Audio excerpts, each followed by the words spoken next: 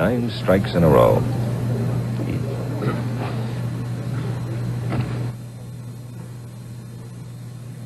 The man and the ball. See what happens to those pins. This is the tenth frame.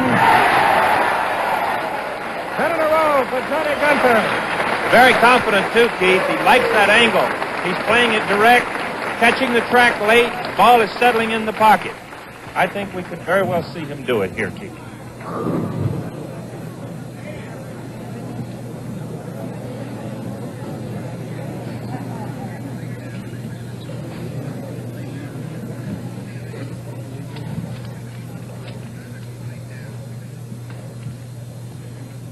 Johnny Guenther has ten strikes in a row.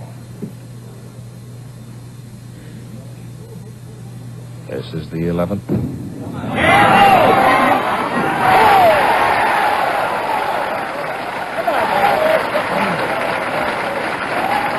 That's it, Keith. When you get that 11, the crowd really comes alive because they know that now this is it. There you see it. 11 big strikes in a row. And now for the all-important 12. $10,000 and a new Cougar. All on this ball. There's nothing left to say. Let's just watch it.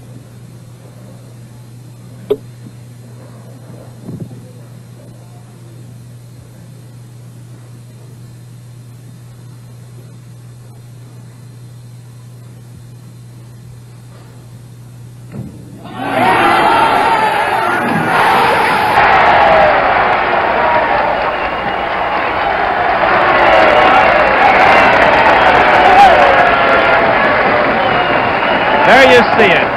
It tells the story. The crowd tells the story.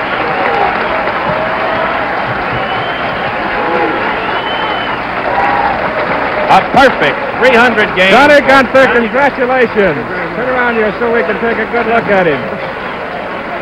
Take a look at one of the happiest men you'll ever see in your life. Johnny, tell us how many times have you done this in sanctioned competition? Uh, just twice before, Keith.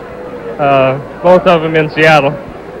Uh, uh, it's I don't know what the I can't explain how I felt uh, to throw that last ball. It uh, it's you could couldn't hear a thing, and I was kind of trying to concentrate on how I threw the last two shots to throw the, sa- the same shot again.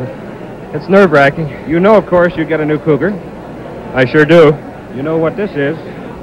I have an idea. Is a check for $10,000 for your perfect game. You notice my hand is shaking a little. Thank you very much, Keith. Wonderful. Johnny, thank you.